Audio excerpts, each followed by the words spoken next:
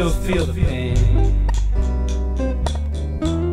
I can still feel the pain of our hearts pounding wildly as we each left the ground. Of our hearts pounding wildly as we each left the ground.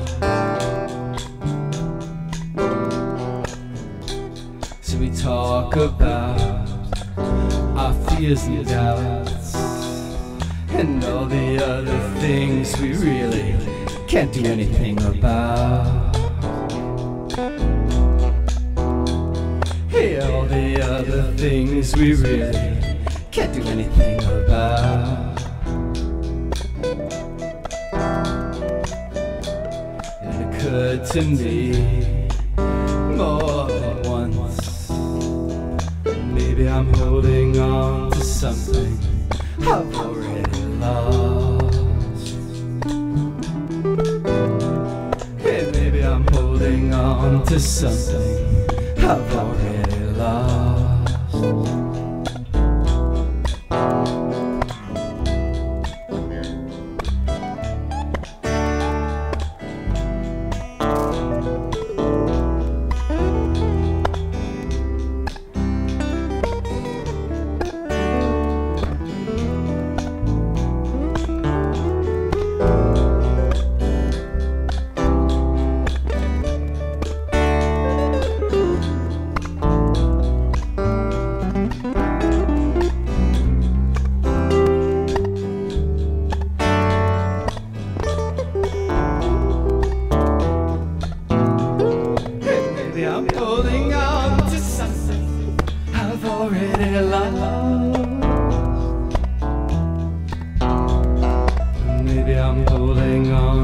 something I've already lost. Now that it's so hard to see me, tell me how'd you stop believing? You'll never understand me the way I need to be understood.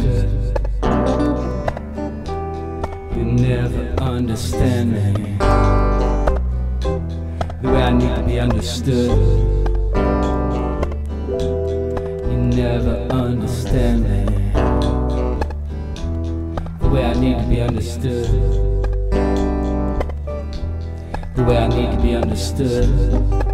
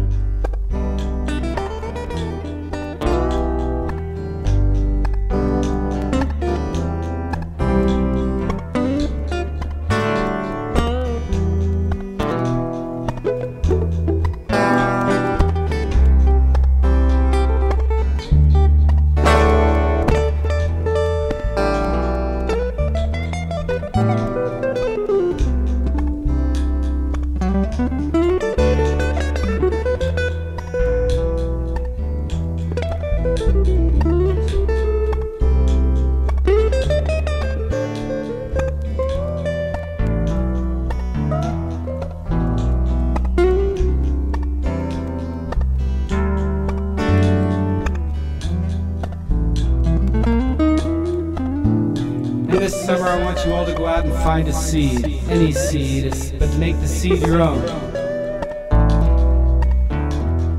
I like trees. When you found your seed, put it in a drawer and take it out once a day and spend five minutes with it.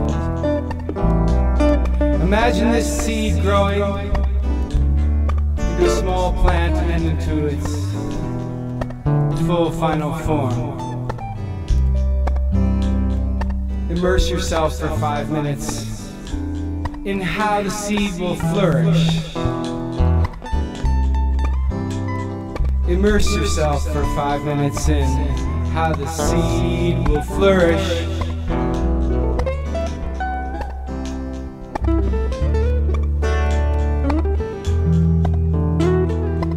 And at the end of your meditation, like a prayer to some still unknown science, reflect upon this.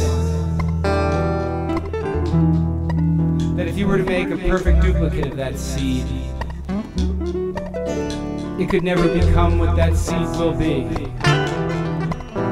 And this indicates to us that yes, there are invisible forces at work in the world. Invisible forces that animate us animate and animate all things that flourish and bloom. Maybe I'm holding on to something I've already lost.